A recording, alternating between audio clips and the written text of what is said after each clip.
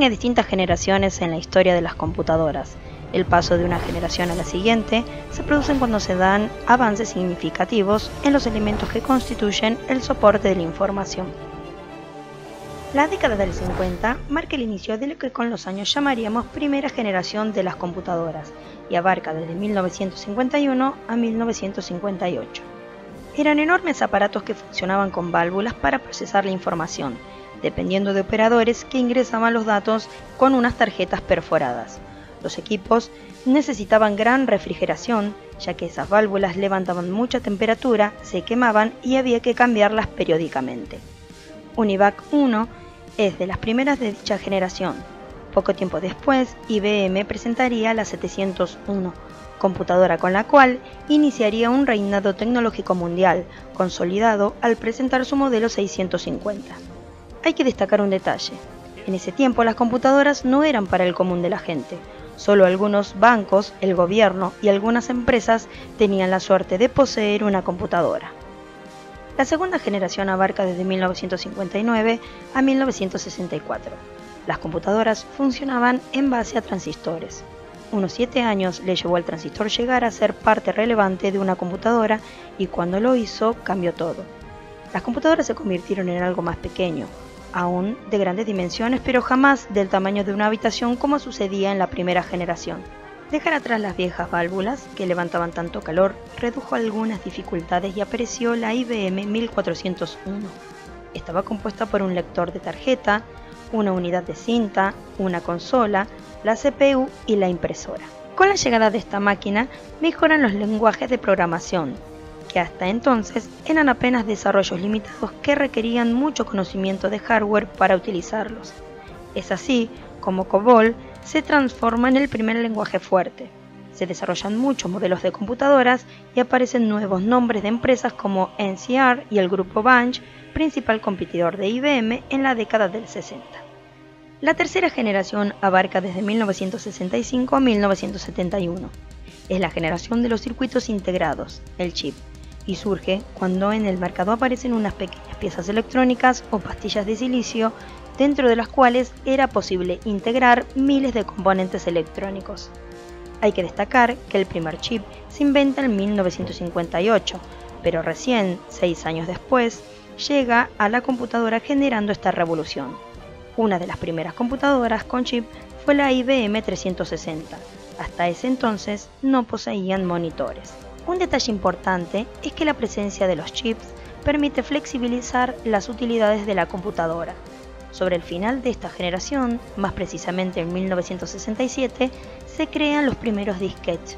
Estos eran de 8 pulgadas.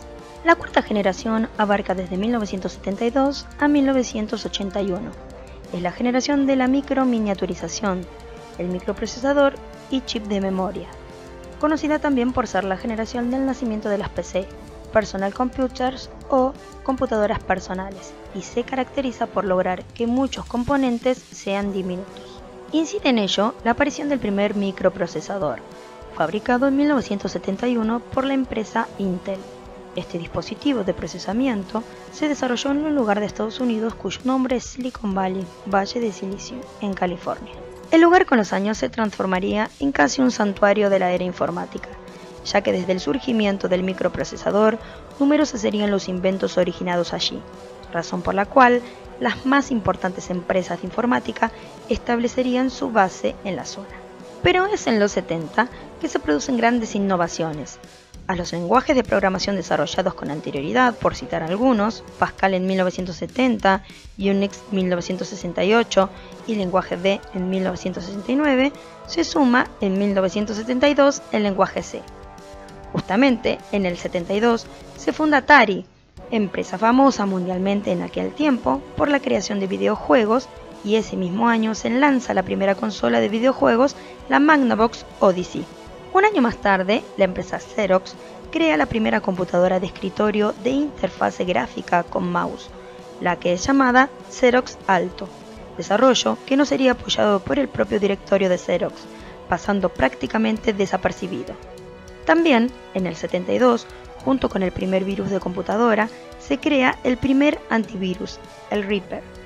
que no afectaba a las PC porque éstas aún no existían. En 1974 se conecta por primera vez dos redes diferentes a través de un cable, dando origen al término Ethernet, que hoy utilizamos para describir un tipo de conexión de red. En 1975, Bill Gates y Paul Allen fundan la empresa Microsoft. No es extraño que justamente en esta década estalle una gran revolución. Las computadoras dejan de ser objeto exclusivo de las empresas, bancos y organismos del gobierno y llegan a los hogares.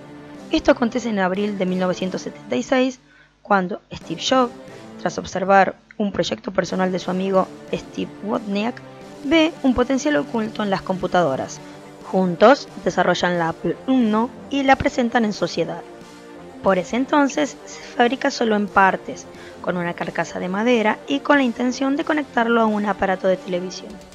Un año más tarde se produce el gran estallido.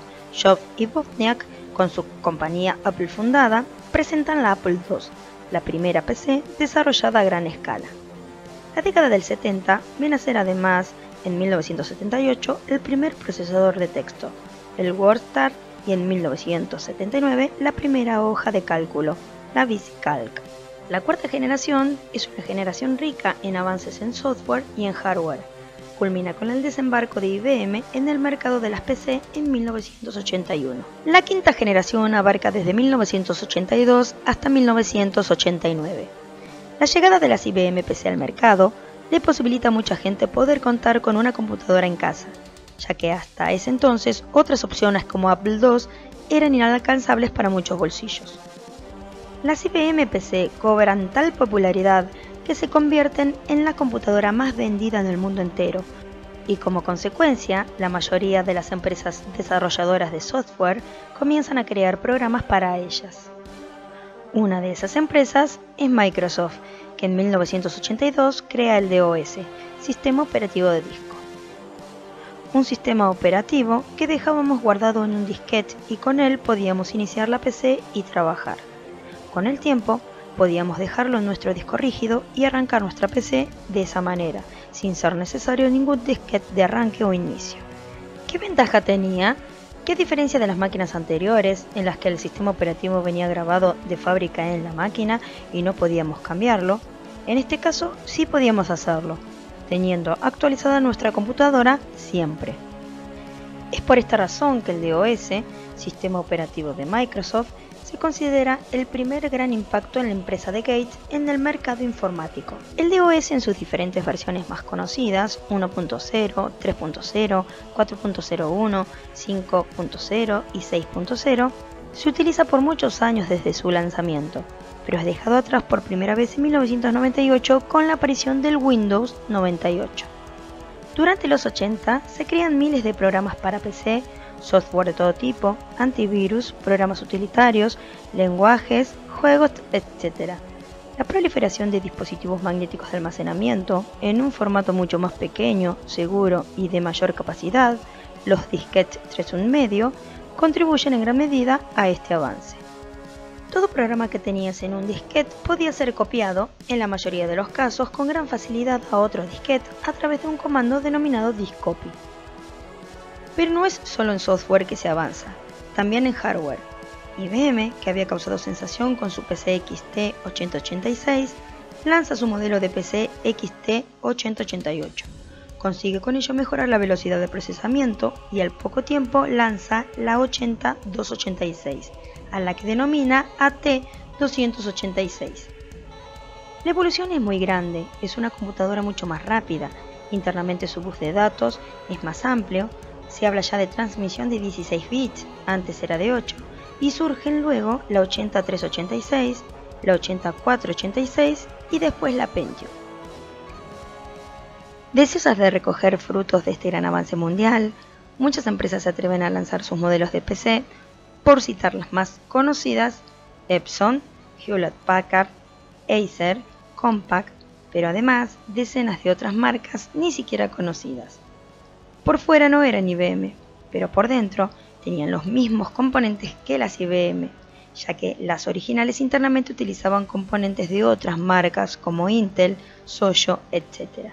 Comienza a denominarse a estas computadoras clones o simplemente PCs. En esos años, quien marcaba tendencia era Estados Unidos y la llegada de cada pieza de hardware a la Argentina, a España y otros países demoraba mucho tiempo. El costo inicial de las PCs era elevado, razón por la cual desde los 70 se desarrolló un mercado paralelo en el cual se creaban otro tipo de computadoras. Computadoras más económicas y pequeñas que en un principio se conectaban a un televisor y aunque venían con un sistema operativo grabado de fábrica, eran programables y su memoria era expansible. Con el tiempo las microcomputadoras se convirtieron en pequeños dinosaurios en extinción con la evolución y el abaratamiento de las PC, dejándoles todo el campo abierto para que se establecieran en cada hogar, comercio, oficina y escuela. Una radical diferencia entre las PC y las microcomputadoras es que las segundas en un principio no operaban con disquetes. Los programas se cargaban con cassettes de audio de cinta magnética o cartuchos a través de un grabador o un dataset y en algunos casos unas ranuras para inserción de cartuchos y memorias. Recién, sobre el epílogo de la historia de las microcomputadoras, aparecieron las unidades lectoras de disquete. Hoy, las microcomputadoras son apenas una anécdota.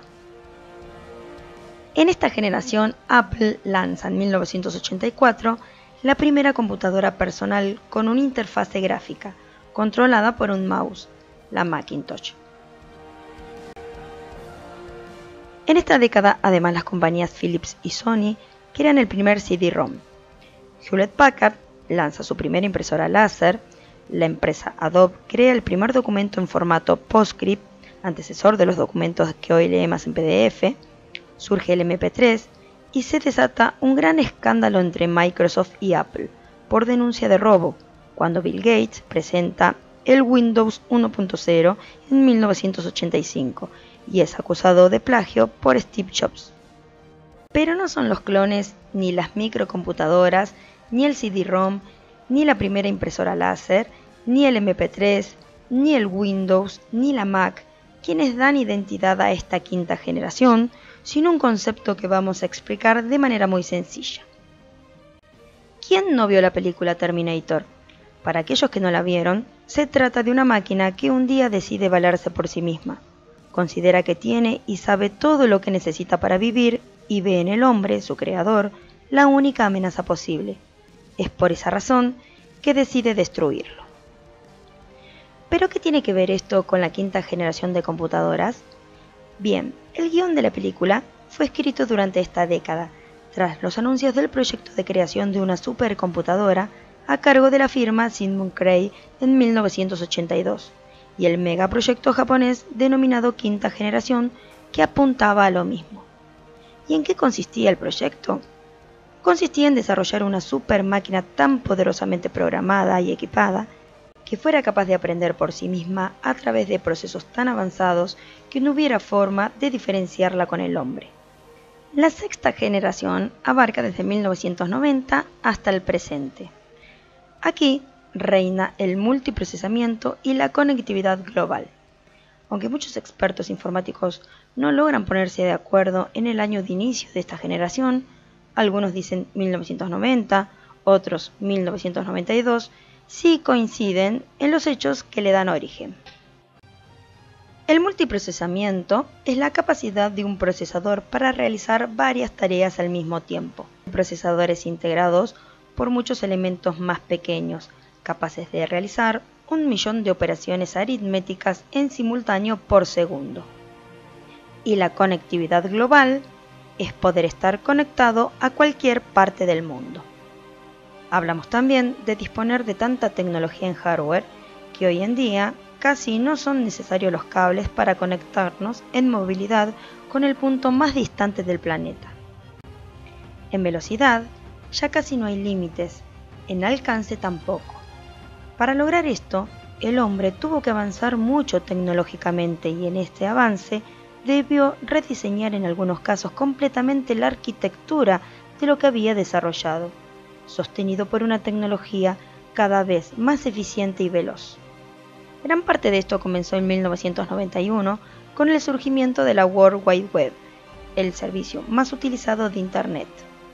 La posibilidad de comunicar algo a través de documentos de hipertexto, lo que hoy conocemos como páginas web, abrió las puertas a grandes avances que con el tiempo integrarían no solo a computadoras, sino también a dispositivos móviles como teléfonos celulares, tablets, netbooks, notebooks, Smart TV y toda una gama de nuevos dispositivos que comenzarían a desarrollarse gracias a esta nueva forma de comunicación. Las redes de área mundial, Wide Area Network, seguirán creciendo desorbitadamente utilizando medios de comunicación a través de fibras ópticas y satélites, con anchos de banda impresionantes.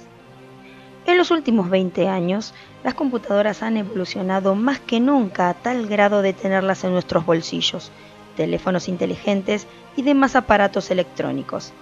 La robótica y la inteligencia artificial se han vuelto términos comunes.